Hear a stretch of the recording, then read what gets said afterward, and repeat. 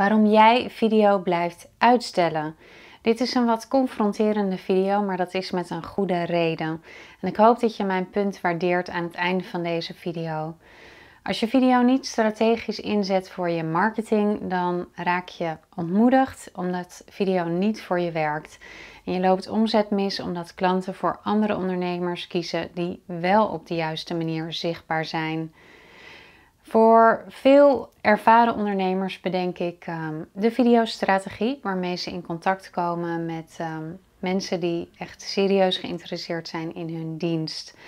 En ik help ze ook bij het maken van video's. En door de jaren heen ben ik gaan ontdekken wat zij anders doen dan anderen.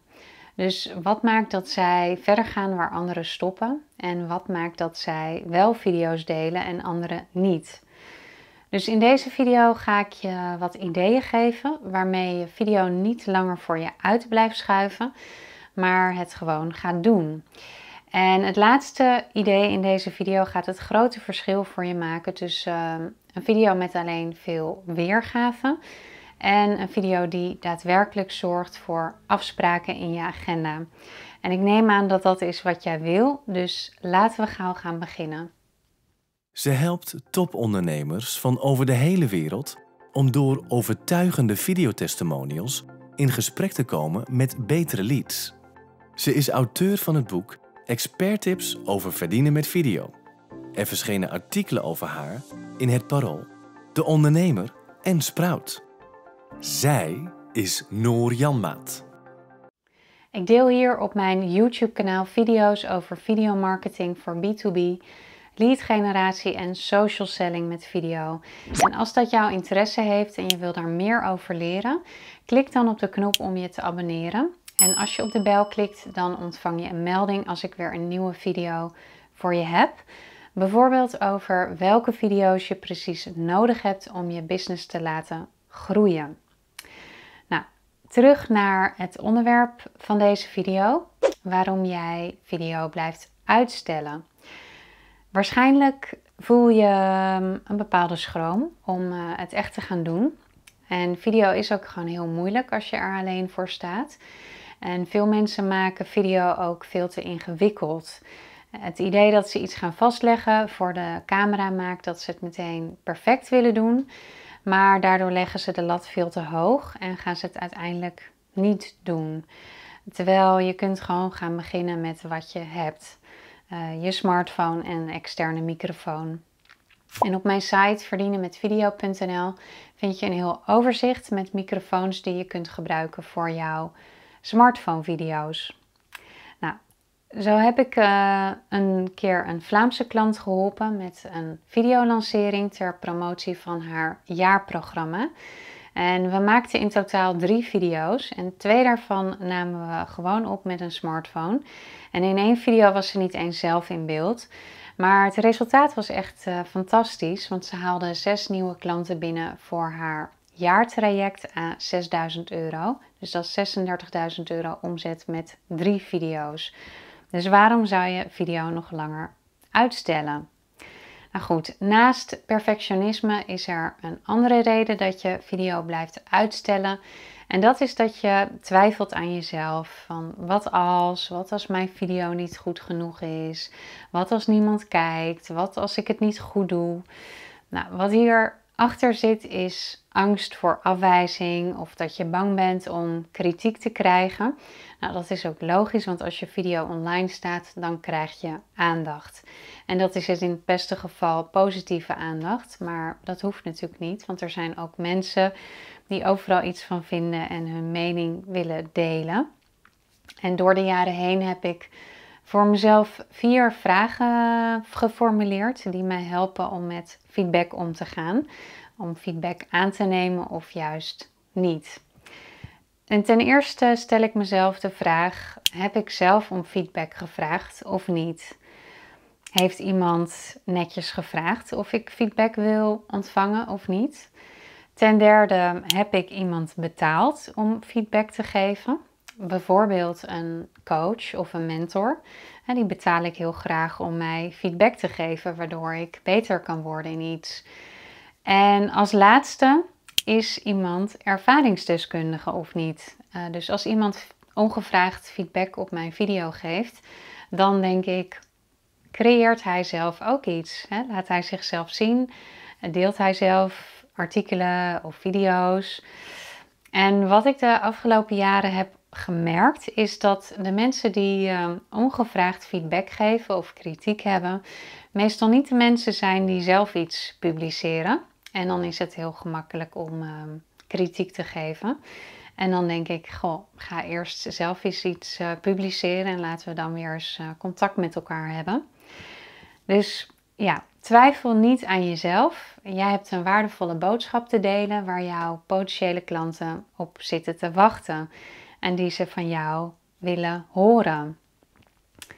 Dan een uh, andere reden waarom jij video waarschijnlijk voor je uit blijft schuiven, is omdat het zo onnatuurlijk voelt om voor de camera te staan. En het doet me denken aan uh, sit-ups doen om een strakke buik te krijgen. Dat voelt in het begin ook heel onnatuurlijk. Maar als je het gewoon vaak genoeg doet, dan uh, wordt het vanzelf natuurlijk. En dan uh, krijg je als het goed is een strakke buik.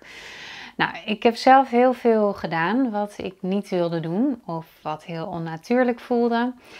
En het fijne ervan is, nu vind ik het wel leuk om te doen, zoals voor de camera staan bijvoorbeeld. Ik vond dat in het begin heel erg spannend en het voelde ook heel onnatuurlijk om uh, tegen een camera te praten.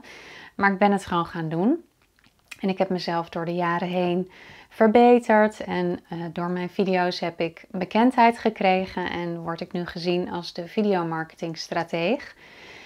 En ik moest daarvoor dus um, ja, doen wat, ik, wat in het begin heel onnatuurlijk voelde. En ik dacht niet, ik kan dit niet. Nee, ik dacht, ik doe het.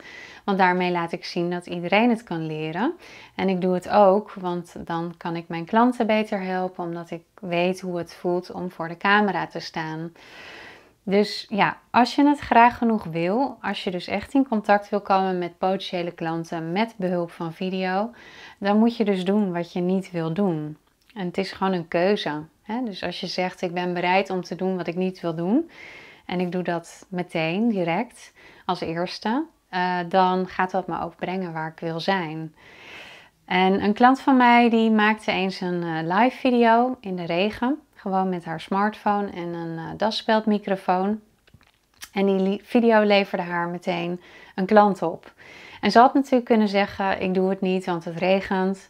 Maar ze heeft het toch gedaan. En ze was bereid dus om te doen wat ze eigenlijk niet wilde doen. En het bracht haar wat ze graag wilde, namelijk nieuwe klanten. Dus mijn uitnodiging aan jou is: uh, doe juist wat je niet wil doen en doe wat je moet doen om te komen waar je wil zijn. Dan een uh, andere reden waarom je video voor je uit blijft schuiven, is omdat je jezelf vergelijkt met anderen. Dat je denkt: hij is veel beter, hij heeft veel meer ervaring dan ik. Uh, wie ben ik dan? En toen ik voor het eerst met um, een cameraman ging samenwerken, was het natuurlijk heel gemakkelijk om te denken: ja, hij is cameraman en hij heeft ervoor gestudeerd en wie ben ik dan?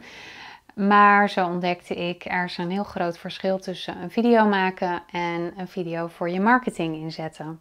En er zijn nu cameramensen en ook videomakers die mijn boek kopen en programma's bij mij volgen, omdat ik heel veel kennis en ervaring met videomarketing heb. En door mijn video's uh, mijn plek als videomarketingstratege heb verworven. En iemand vroeg me ook eens van, goh, heb je hiervoor dan een opleiding gevolgd? En ik zei, nou, ik heb een HBO-opleiding in marketing en communicatie. Maar video heb ik toch echt uh, in de praktijk geleerd. Ik heb het gewoon, hè, door te doen heb ik het geleerd. En het leuke is, ik heb heel veel uh, tevreden klanten en die help ik al jaren met hun videomarketing. En ik heb daar dus geen opleiding voor nodig. Uh, dus ja, onthoud als je wacht op de perfecte omstandigheden om te beginnen, dan zul je nooit beginnen. En de omstandigheden worden nooit perfect. En je hoeft ook niet eerst beter te worden om te beginnen. Uh, je hoeft alleen te beginnen om beter te worden. En ja, twijfel ook niet aan jezelf, hè, maar zet jouw potentiële klanten centraal voor wie jouw boodschap heel waardevol is. En doe juist wat je niet wil doen. En doe dat ook als eerste. dan heb je het maar gehad. En vergelijk jezelf ook niet met anderen. Vergelijk jezelf hooguit met jezelf door de tijd heen, zodat je ook je eigen progressie gaat zien. En dan is er nog een laatste tip die ik je wil geven, uh, wat ik aan het begin al uh, aangaf. Wat maakt nou het verschil tussen een video met alleen heel veel weergave en een video die daadwerkelijk zorgt voor afspraken in je agenda? Nou, als je video goed wil doen, dan heb je een videostrategie nodig. Tenminste, als je wil verkopen. En in deze video uh, geef ik je trouwens wat ideeën hoe je geld kunt verdienen met video. En in deze video deel ik vijf tips over LinkedIn lead generatie met video. Dat is heel waardevol voor als je B2B doet. Maar goed, wat je dus nodig hebt is een videostrategie. En een videostrategie is het antwoord op de vraag: wat is je doel en hoe ga je dat doel bereiken? Dus bijvoorbeeld, wat is je omzetdoel en wat is dan het aantal gesprekken dat je moet voeren om je omzetdoel te halen? En wat is het aantal klanten dat je dit jaar nog wil krijgen bijvoorbeeld? En hoe ga je video daarvoor inzetten? Nou, ik help je heel graag bij het uh, bepalen van jouw videostrategie. En ik kan je verzekeren, het gaat je hoe dan ook meer opleveren dan uh, hoe je je marketing nu doet. Want heel veel daarvan kun je net zo goed achterwege laten. En een van mijn klanten die uh, zei laatst tegen me: ja, ik heb de afgelopen jaren heel veel geïnvesteerd in marketing en in bureaus. En het heeft me eigenlijk veel te weinig opgeleverd. En sinds ik met jou werk heb ik uh, ja, zoveel goede gesprekken met nieuwe leads gevoerd. En dat is precies waar mijn uh, methode voor zorgt. Uh, dus als jij dat ook wil, geef je dan op voor een gesprek. Dan geef ik je ideeën hoe je video voor de groei van jouw bedrijf inzet. En voordat je weer verder gaat, ben ik heel benieuwd. Wat is de reden dat jij video voor je uit blijft uh, schuiven? Is het perfectionisme? Weet je niet goed waar je het over moet hebben in je video? Laat het me even weten in een uh, korte reactie onder deze video. En natuurlijk abonneer je op dit kanaal om een melding te krijgen als ik uh, weer een nieuwe video heb gepubliceerd over videomarketing. En nou ja, dankjewel voor het kijken naar deze video. Dankjewel voor je aandacht en uh, graag tot de volgende video. En um, nou, laat me ook gerust weten over welk onderwerp je een video wil zien, want uh, ik maak heel graag video's waar mensen echt mee geholpen zijn. Dus uh, nou, dit was hem.